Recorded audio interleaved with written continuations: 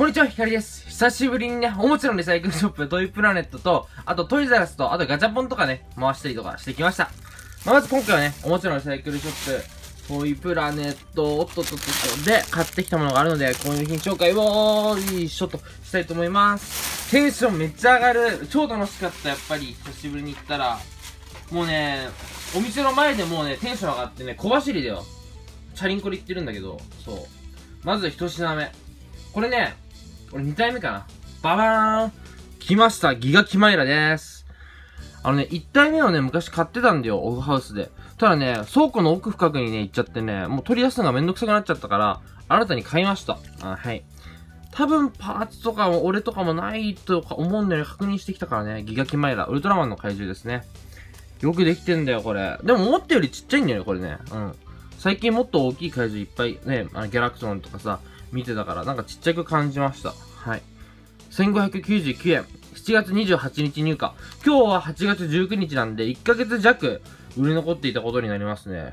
ねえ、売れ残るんだと思って。なんかもう今ってあんまギガキマイラ流行ってないんだろうね。もうみんな、ね、欲しい人は持ってるし、うん。あとはみんな興味ないし、みたいな。なのかな。あとね、そんだけ売れ残ってるってことは、どっか欠品があったり、破損があるんじゃないかっていう不安がすげえあるんだよね。まあ、ギガキマイラは俺の中で、まあ、タイラントと、ファイブキング、そしてベルドラの間みたいな感じ。うん。まあ、合体怪獣みたいなやつですね。はい。映画でメビウスとか、あとティガがメインのやつか。うん、で、で、あの、登場したやつですね。これは本編見ましたんでね。はい。いや、ちょっと次はね、まあ変化球なんだけど、これ新品だったから買いました。はい。ルパンレンジャーのお面でしょ。これ新品なタグもシールもついてるから。ルパンレッドのお面と、パトレン1号のお面と、これも新品だった。で、これは新品じゃないんだけど、まあ、拭いて使います。はい。ジオージャーのね、ジオイーグルのお面。100円でした、1個。うん。お面で何に使うかってわけでもないんだけど、まあ、飾っててもいいし、まあ、100円だし、うん。あったかなって感じ。で、あ、大物、これね。ババーン。これ昔持ってたんだけどね、どっか行っちゃったから買い直したよ。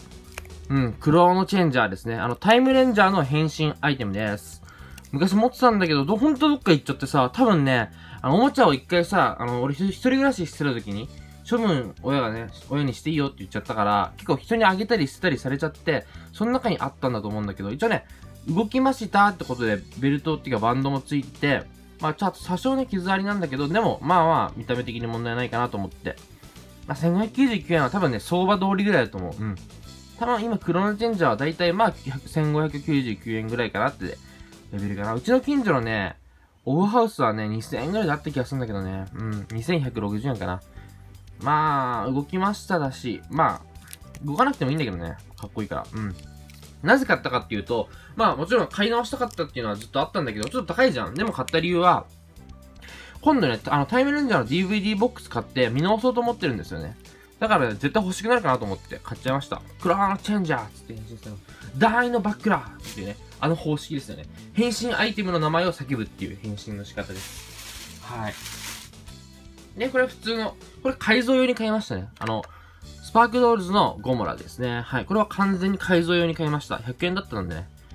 はい。まあ、あの、スパークドールズサイズの、あの、なんか改造ゴモラみたいなのを作ろうと思って。うん。はい。まあ、本当はね、パンドン探したんですよ。ゴモラさんのアドバイスがあったから。改造用パンドンを。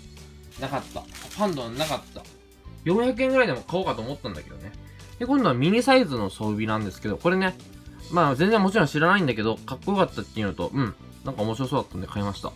一応後ろを見ると、え、2003年とかかな。あ、うん。で、2008じゃないよね。3だよね、多分ね。バンダイの、ネオガイガレード。うん。つぶらウルトラマンのなんか、直眼で、なんだろうね、コスモスかなこら辺かな出てくる、あんまり有名じゃない怪獣だけど、あの、食眼版では一応、あの、立体化されたって感じじゃない？あの、どうしちゃったうん、あの、でっかいやつではね、立体化されてないけど、みたいな。えー、ギガキマイラマジでさ、欠品あったらマジショックなんだけど、これ、向き違くね？どうだっけ？向きこうだっけ？あ、これいいんだっけ？向き。一応確認したんだけどね、俺、もう一個持ってるぐらいだからさ、大丈夫だと思うんだけどね。意外と俺見逃すからね、すぐ。うん、まあ、残念だったらもう改造するよ。うん。あとはウルトラマン系だとこれかな？そう、これね、面白いんだよ。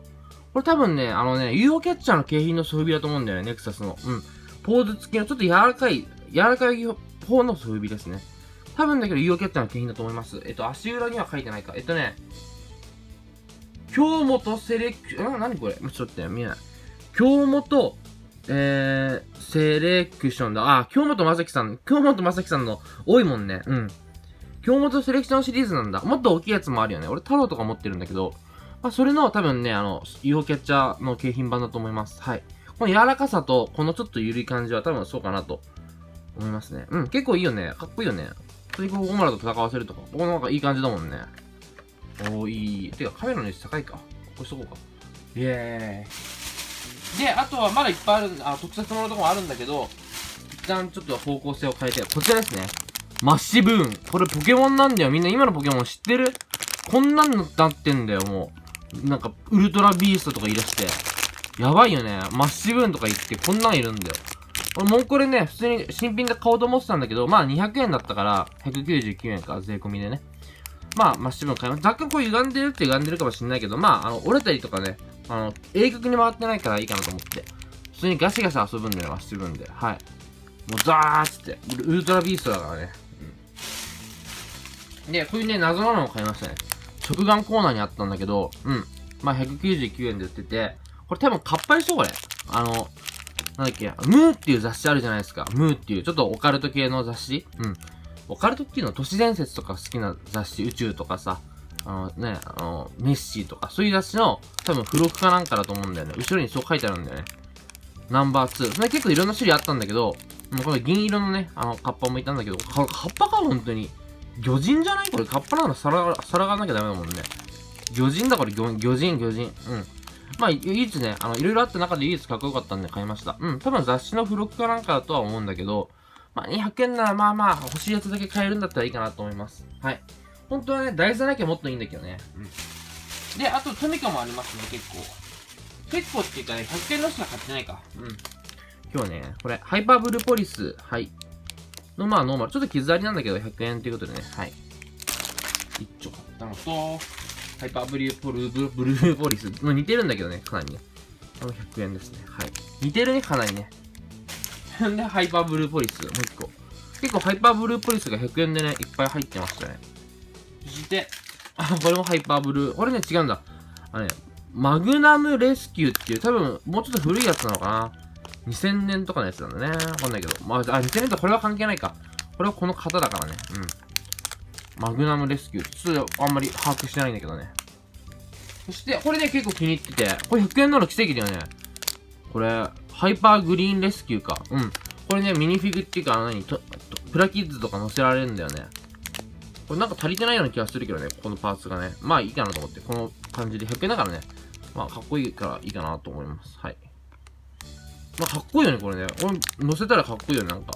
ただね、パーツは足りてないと思うんだ、これ。ここら辺なんかね、つきそうなんだよね、こういうとこに。まあ、うん。でもこれだけでかっこいいから買いました。はい。100円っていうことね。そしてなんだよ。ショーケース見てたらさ、あ、そう、まあいいや、その話は後にしようか。まあ、買ってないもスルーしたものもあって、例えばね、フィギュアーツのバルタン星人。うん。あれが2599円で、箱なしだけど、パーツ全部揃ってた。あの、替えパーツとかもあって、なんか光線のパーツとかもあって、傷なしで2599円。これはね、みんな買いだと思うよ。うん。だから俺ね、結局ね、フィギュアーツあんま遊ばないんだよね。俺ガシガシ遊びたいから、結局フィギュアーツ壊れちゃったりとか、結構大事にする感じになって、遊ばなくなっちゃうから、もう、ゼットンはソフビがいいなと思って、まあ、2599円は安いけど買わなかった。あとやっぱ、名称のダース・ベイダーっていうなんかフィギュアーツかなんかあんじゃん。稼働フィギュアの。名称シリーズのさ、ダース・ベイダー。今ね、アマゾンで1万2000円ぐらいになってるんだけど、ね、ピあのプレミア化しちゃってるんだけど、それがね、4999円であったの。まあ、前回もあったんだけど、今回も売り残ってて、あ、買えばよかったかなとか前回思ってたんだけど、うん、あの、今回はね、売り残ってました。おー、あるじゃんあ、じゃあ、買おうかなと思ったんだけど、でもやっぱりさ、うん、売れ残ってるっていうのもちょっと、あの、自分の中で、その、ものに対する価値が下がっちゃったっていうのもあるし、うん、やっぱりね、うん、フィギュア付けっていうかそういうね、大人向けなフィギュアだからさ、あんま遊ばないかな。写真撮ったりするとすごいかっこいいんだけど、俺かっこいい写真よりおもちゃっぽい写真が撮りたいから、俺に合わねえなと思って買いませんでした。はい。あとね、プーリップがありましたよ。プーリップが3体入荷してた。で、1体すごいいいのがあって、5999円で、ピノキオのプーリップがありました。安いし、ピノキオめっちゃ可愛かったんだけど、まあ、若干服が黄ばんではいたんだけど、でも俺の中では許せる範囲だったんだけど、まあ、靴がね、欠品だったの。でも靴しか欠品じゃない逆逆に言うと。で、そのピノキオが元から履いてた靴が、シーキングさんが、なんか、シーキングさんじゃないな、誰かが履いてた、俺が持ってる靴、あ、ジェニーかなんかが履いてた靴かな？に、どうそっくりだったから、あ、それ持ってるから、それ履かせりゃいいやと思ったんだけど、5999円で安いし、もう絶対買えばよかったんだけど、あのね、うーん、なんかスルーしちゃって今日は。なんかね、うん、なんか安すぎて、ちょっとあれ安さで買ってないっていう、なんか、値段で買ってないっていうちょっと心配もあったし、うーん、中古か、なんか、今、今もね、ちょっと買えばよかったかなとは思ってるけどね。で、その後ね、トイザラス行ったか、行く予定もあったし、まあ、今日はいいか、みたいな気分になっちゃったんだよね。あの、他にもいろいろ買ってた、こういうの買ったりしたからさ。もう満足しちゃってた。うん。で、ショーケースで、そのさっきの2つはスルーしたのよ。ゼットンとフリップさんは。で、俺は買ったのは、えー、この2つですね。ちゃんとね、あの、別口に梱包してもらいました。うん。これね、ロボット魂なんだけど、普通に裸が箱なしだからさ、は、あ裸でこういうのと一緒に入れ入れられちゃうのよ。そういうプラネットはね。まあ、値段も999円だからいいんだけど、まあ、一応ね、別口にしてもらいました。はい、パシフィックリム見えるかな？これ、パシフィックリム。かっこいいでしょ？はい、これね、ソード、剣使いね。はい、これね、一応ね、アマゾンで2500円ぐらいで買おうと思ってたやつが999円だったんで、ショーケースの奥にありました。うん。買っちゃったよ、嬉しい。これであとライジン買えば完璧な、ライジンか。パシフィックルームのロボット魂。うん。999円ならお得だよ。これは嬉しかったよ。武器ついてるし。武器なくても999円なら買ってた。しかもがだよ、しかも。これがもう一丁あったんだよ。同じやつじゃないけどね。あの、別の、またこれ別口でこう、梱包して梱包っていうか、本当はプチプチに包んで欲しかったんだよ。ここね、プチプチあるんだよ。プチプチに包んでって言おうと思ったんだけど、別口でお願いしますって言ったんだけど、でもさすがに999円だから、まああんまうるさくやらなくていいなと思って、値段がね。うん。まあ2000円とかだったら別だけど、まあいいかなと思って。で、これだよ、これ。これはね、本当に Amazon のカートに入れてあって、もう買う直前だったの、これ。最近値下がりしたの、Amazon でちょっと。だから買おうかなと思ってた瞬間だったんだから、よかった。危なかった。これもね、ちょっと値札、あ、値札どっか行っちゃったからもう。999円でした。一応ね、替えパーツもついてはいるんだけど、うん。正直替えパーツいらないんだよね、俺。なくても全然いいんだけど、まあまあ一応ね、あったから、まあなくても多分買ってたけど、あったからよりラッキーっていうことで。うん。かっこいいね。やばくない？いやー、興奮するわ。もっと、おー、結構ずっしりしてるね。ロボット魂いいわ。でもやっぱ、この関節がいずれこういうとこ緩くなりそうだよね。緩くなったり、折れたりするだろうな。でも折れても俺ね、パシフィックリムはいいと思うんだよね。映画でもさ、結構ボロボロになるじゃん、あいつら。ね、結構リアルに戦うからさ、修復とか全然しないし。おー、かっこいい。大人向けだな、でも、ちょっと。でもいいや、ビシバシ遊んだろう。うん。スイックリム。あとはライジンの装備を買おうから悩んでるんだけど、今2400円ぐらいだっけアマゾンで。うん。なんだけど、あのー、多分あれ結構数出てると思うんだよね。もう、普通に市販されてるから。あの、ライジン以外のモンスターは出てないんだよね、日本では。だからないけど、ライジンめっちゃ売れてると思うから、多分中古屋とかでさ、いずれ1500円とかで出そうじゃない？なんか。下手したらさ、なんか1080円とかで出そうじゃない？なんか。オフハウスとかでめっちゃ。そう思ってなんか買えないんだよね。はい。という今回はおもちゃのリサイクルショップトイプラネットというね、楽園に行ってまいりました。ほら、素晴らしいでしょ。ちゃんと早いんだよ、ここ。まあ、今だからまあ、早くないけど、ほんとね、戦隊が新しくなるとね、すぐここね、この写真変えるからね、このチラシの。早いよね。あとはまあ、リカちゃんであったりね、ブロックとか、レゴか。で、アンパンマンでね。まあ、中川もね、あ、中川はさすがにまだあれか。うん。ビルドだよね。そりゃそうだ。もうあれになっ、え、なんでウルトラマン X なんだ？ここ遅くね？ここ最新にしてんのになんでここ X なの？ポケモン、うん、ぬいぐるみ。そう、ぬいぐるみ今回結構狙ってたんだけどね、全然、今回は、うん、なんかピンとこない。まあ、ピンときたのはあったんだけど、あの、荷物になるんだよね、やっぱり。うん。あ、ほら、ブライス、プーリップも扱ってて、そう、あの、ミディブライスとプチブライスが多分3個ぐらい前あったんだよ、余分に。余分にっていうか今日なかったんだけど、それがだから3個売れたんだなと思って。うん。今日もね、プチブライスが1点だけありましたね。うん。まあ、高かったけど、なんか、ワルゾーネコさんの話かなんかでさ、すげえ、昔3000だっけな、すげえ安かった話聞いちゃったからさ、ええーと思って、確か7000ぐらいで売ってたから、いやいやいやと思って。まあ、トイガンだったり、大人向けラジコンもあったりとか、ね、子供用品とか、あと日用雑貨も扱ってたりするんでね。まあ、群馬と埼玉にしかないんだけどね。あとまあ、あ、こういうね、カードリーも扱ってます。トレカ。あ、そうゲームも扱ってますね。ほんとね、もう見出したらね、ほんと3時間とか、てかね、体力が先に持たなくなる。うん。あ、普通に、何お店回る体力っていうよりも、もう物が、いい、もう欲しいものっていうか好きなものがありすぎて、本当に疲れちゃうよ、本当に。あそこに3時間いるだけで、本当ね、50キロぐらい痩せるよ。ごめん、嘘嘘、50カロリーか。50キロは痩せないな。意味わかんないこと言ってごめんね。な感じでした。はい。まあ、今回大収穫じゃないでしょうかというか、うん、欲しいものを変えたな。うん。みんな。トミカとかも100円でよかった。うん。いやー、買ったわ夜、これはほんとラッキーだった。ほんで、このパシフィックリムがもしなかったら多分 Z ン買ってた気がする。うん。か、プーリップさんどっちか買ってたかな。まあ、名称のダースベイダーもわかんないな。名称ダースベイダーは多分買わなかったかもな。Z も買わなかったかな。もしかしたらプーリップさん買ってたかもしんないな。ピノキオの、ああ、今思えば買えばよかったかなとか。やっぱり、ね、この後にトイザラスっていう予定が入っちゃうとね、どうしてもね、あの、購買意欲っていうか、この後がまた楽しみだなとかなって、買わなくなっちゃうんだよね。まあ、トイザラスでもね、結構5000円分かなぐらい買ったんだよね。これ確か総額5000円ぐらいって気がする。うん。だから今日1万円ぐらいか、出費。あとガチャポンもね、まあ、いくらか回してるけど。うん。な感じで。ちょっとこの子の情報をお待ちしております。この子、まあ、自分で調べられるけどね、これは。もう名前分かってるから。えっとね、ネオガイガレードだって。うん。この情報は調べられるけど、まあ普通に、最近ね、あの、アニトリさんの影響とかもあって、やっぱりこの、なんていうの、ミニサイズの装備ミニサイズ装備っていうの？うん。これ昔はなんかチャ、チャチーナとか、タッチ8っていうかなんかあんまりね、興味なかったんだけど、今はすごい興味持ってて、うん。こういうミニサイズもありだなとは思ってるから、そう、ちょっと、おこれかっこいいじゃんと思って、遊びやすそうだしね。左右の手が違う武器になってるから、こっちはこう、何こう、相手をこう、こんな感じで攻撃して、こっちはこっちで相手をぐさって、ぐさってやれるし。はい。あと、ギガキマイラってこんなちっちゃかったっけと思って。だからちょっとギガキマイラって別に再販とかないもんね。そう考えると別にだよね。うん。